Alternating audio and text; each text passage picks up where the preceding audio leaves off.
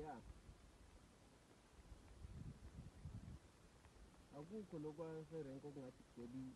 amasiko nginerekhodi lalokuyabuza uyambo umajola wasetres